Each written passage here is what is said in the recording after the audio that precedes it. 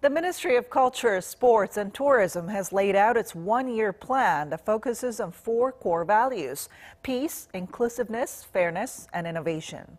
The ministry said on Monday that it plans to expand its vision of creating a country where everyone can enjoy culture and sports activities more frequently and freely.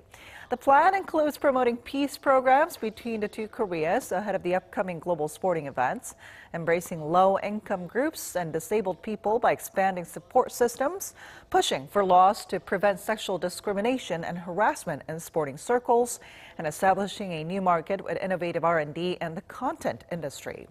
The ministry said that it will put in some 5 billion US dollars to support the plan.